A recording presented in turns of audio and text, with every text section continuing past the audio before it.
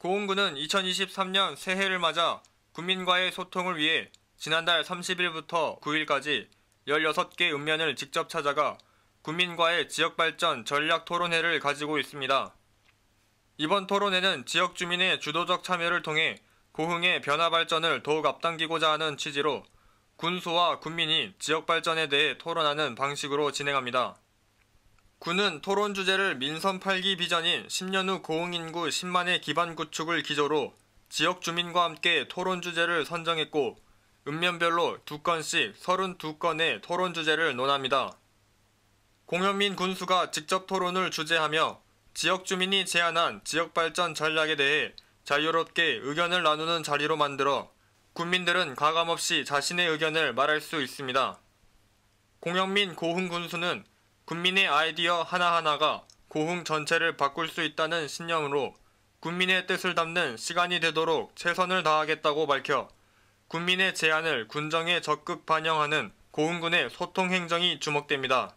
복지TV 뉴스 장우현입니다. 2023 순천만 국제정원 박람회 개최를 50여일 앞둔 지난 4일 오천 그린 광장에서 순천만 국제정원 박람회 붐업 페스타가 2만여 명이 함께한 가운데 성황리에 열렸습니다. 전국에서 가장 긴 1.2km에 달하는 마로니의 길과 드넓은 사계절 잔디에서 돗자리를 펴고 앉아 안전하게 행사를 즐기는 모습은 소통과 힐링의 광장 모델을 보여줬습니다. 이날 행사는 공식 기념행사와 도민화합 퍼포먼스, 성공 개최를 응원하는 국내 정상급 가수들의 축하 공연이 이어지며 풍성한 볼거리로 시민들의 큰 호응을 얻었습니다. 김영록 전남도지사는 축하의 말로 2023 정원 박람회는 K정원 세계화의 신호탄으로 관람객 800만 명 달성과 전남관광 1억 명 시대를 열도록 도민 모두의 지혜를 모아주시길 바란다고 전했습니다. 노관규 순천시장은 이번 박람회를 통해 기후위기 시대의 미래 도시가 어떻게 대응해야 하는지 그리고 도시가 어떻게 발전해야 하는지 그 표준을 보여드리겠다며 큰 포부를 밝혔습니다. 순천만 국가정원과 순천만 습지 도시밀원에서 오는 4월 1일부터 10월 31일까지 7개월 동안 화려하게 펼쳐질 2023 순천만 국제정원 박람회에 전국적인 관심이 뜨겁습니다. 복지TV 뉴스 장우현입니다. 순천시 문화의 거리 리온 갤러리에 들어서면 흙두루미와 다양한 꽃그림으로 풍요롭고 멋스러운 작품들이 갤러리를 가득 채우고 있습니다.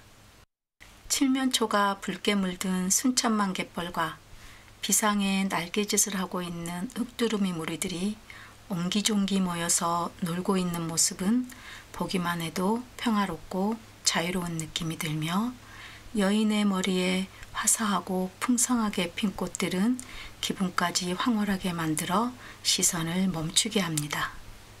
나무도마와 컵 받침 등 다양한 소품에는 예쁜 꽃 그림으로 장식되어 갤러리의 분위기를 한층 아늑하고 따뜻하게 만들어줍니다.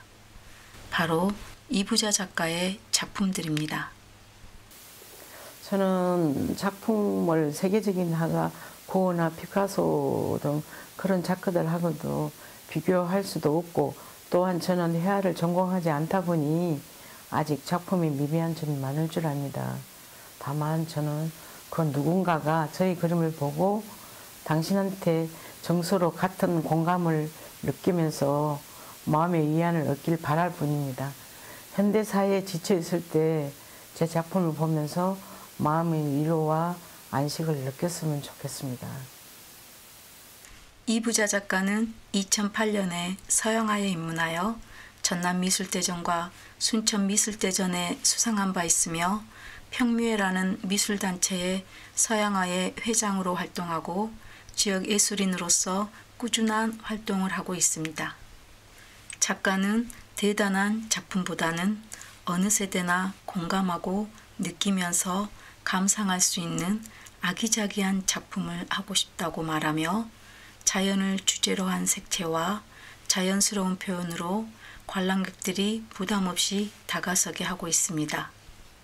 이부자 작가는 지쳐있는 현대인들에게 따뜻한 차 한 잔과 작품을 감상하면서 힐링할 수 있는 공간을 만들어 지역인들의 사랑을 받고 있으며 앞으로도 작가만의 편안하고 자유로운 표현으로 많은 사람들과 공감하고 소통할 수 있는 다양한 작품을 기대해 봅니다.